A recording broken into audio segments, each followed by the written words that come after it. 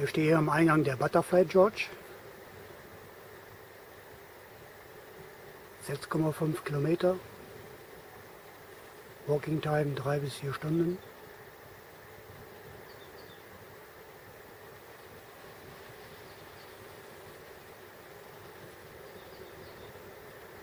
Und da geht's rein. Ja, man läuft zuerst durch einen parkähnlichen Wald, der zur eigentlichen Schlucht führt.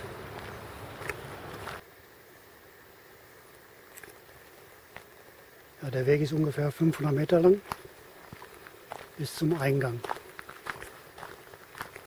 Ja, da wird wohl die Schlucht sein. Sind es noch 100 Meter bis dahin.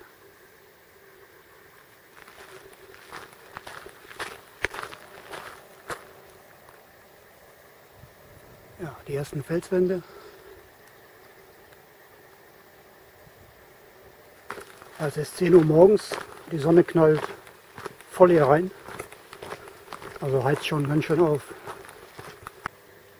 Ich glaube, so ein sattes Grün der Bäume, das sieht man auch nur auf Kreta. Immer wieder beeindruckend. Ja, hier ist der Eingang. Und es geht direkt wieder los mit roten Pfeilen, Markierungen.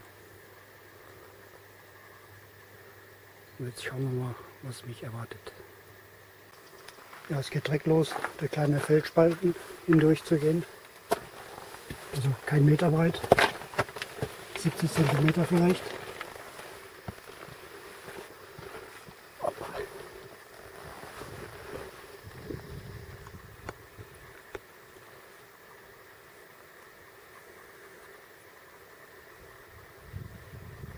Erster Eindruck sehr schön.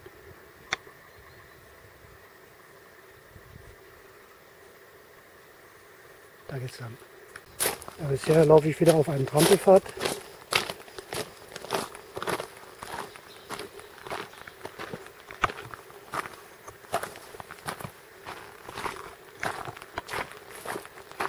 Hier mal schön ein breiteres Stück.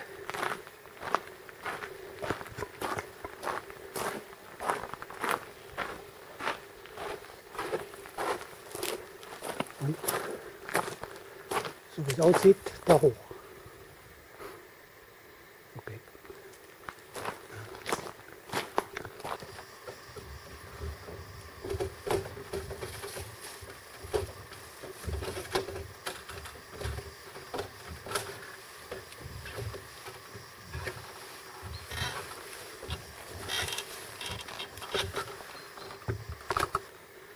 Ja, Die Schlucht ist übersät von Markierungen. Also so sieht man direkt schon die Nässe, wenn man an der jetzt hier vorbeiläuft. Mal eine Freistelle, wo man schön die Felswände schauen kann.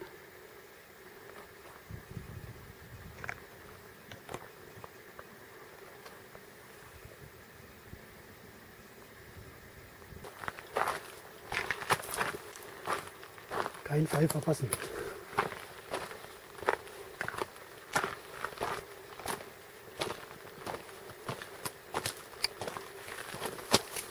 Ein kleiner Teil aufgemalt, dann Teil durch Holz ersetzt. In der Vergangenheit hat es hier gebrannt. Sind auch einige Bäume in Mitleidenschaft gezogen. Verkugelt. Also wer keine Sonne verträgt, der sollte ja morgen schon um 6 Uhr reingehen. Weil hier ist so häufig ein Schatten, ab und zu mal eine Passage und genügend Wasser mitnehmen, wie jetzt. Ich habe mir zur Regel gemacht, spätestens nach 15 Minuten fange ich an zu trinken. Und nicht erst, wenn ich merke, ich habe Durst. Jammers. Ja, an dieser Stelle ist die Schlucht ziemlich weitläufig.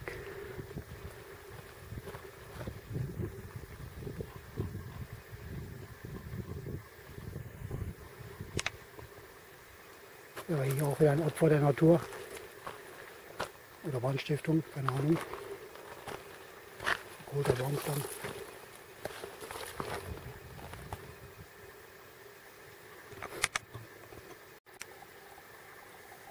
Ein kleiner Tümpel.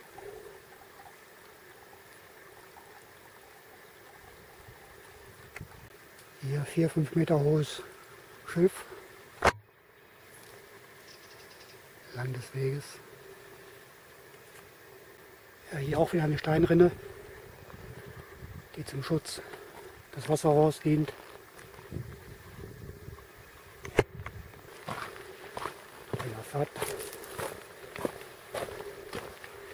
Felswände 1,50 Meter hoch.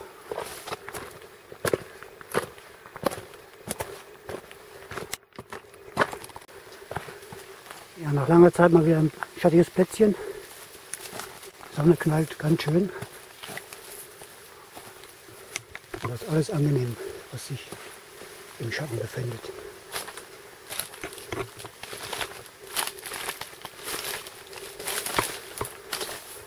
Aber es waren höchstens 20 Meter. Und dann kommt Sonne wieder.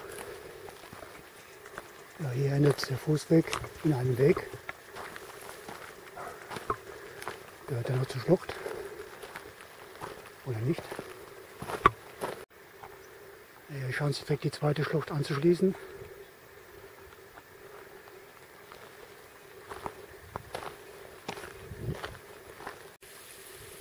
Die Church of St. Dimitrios.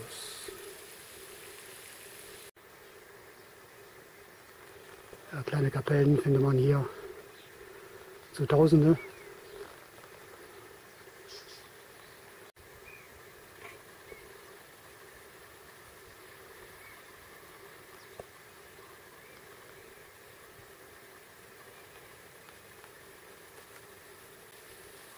Ja, ich habe mir jetzt ein kleines Päuschen gegönnt.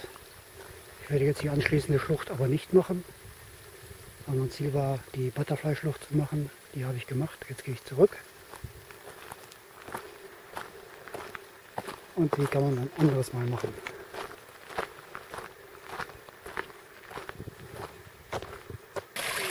Ja, hier bei der Kirche eine geniale Bewässerung. Schlauch in einen Eimer reingeleitet und dann das Wasser schön verteilt werden. Gute Idee.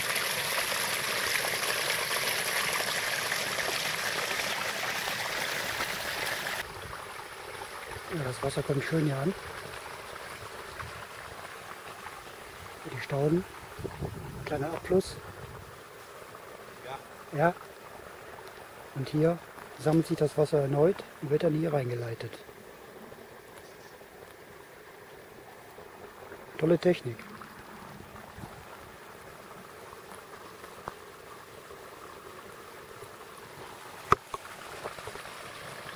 Ja, wieder Schattenplatz. Diesmal von der anderen Seite.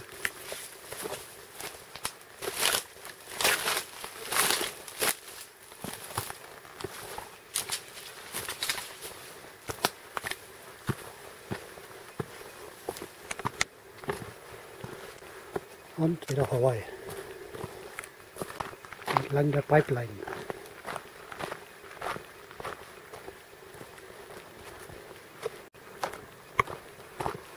Ja, die Sonne meint es wirklich gut mit mir. Also kann mich nicht beklagen. Farbe bekommt man hier. Also auch dran denken, gut eincremen. Also Pfeile gibt es nur in die andere Richtung. Also nicht davon aus, dass man den gleichen Weg zurückläuft. Es gibt noch nie eine einzige Markierung, die mit Pfeil in Richtung zeigt, wo ich jetzt gehe. Alles entgegengesetzt. Ja.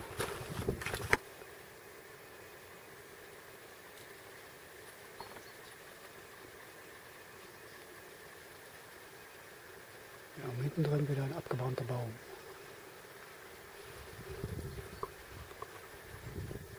Ja, jetzt ist etwas Wind aufgekommen, der sehr angenehm ist. Da hinten auch wieder ein abgebrannter Baum, der liegt. Tatsächlich der erste Pfeil, der in die Richtung geht, wo ich zurücklaufe.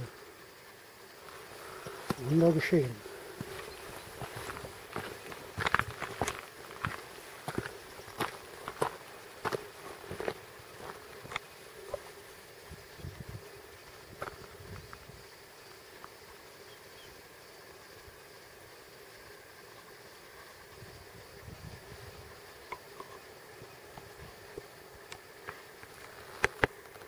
Ja, desto näher man an den Ausgangspunkt wieder kommt, kommen doch wieder Pfeile in die Richtung, in die man gekommen ist.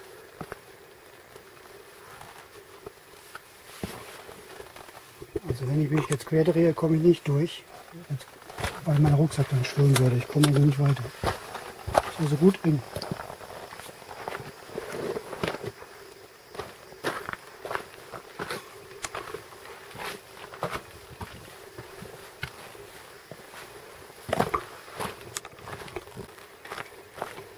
Ja, bin ich wieder am Ende der Schlucht, beziehungsweise am Anfang.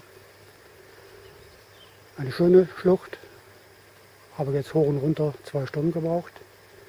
Sehr gut zu laufen. Wasser nicht vergessen, wie immer, gutes Schuhwerk, bisschen Kondition und dann ist das gut zu meistern. Hier steht Distanz 6,5 Kilometer. Kann man nur vorstellen, dass das die zweite Schlucht inbegriffen ist.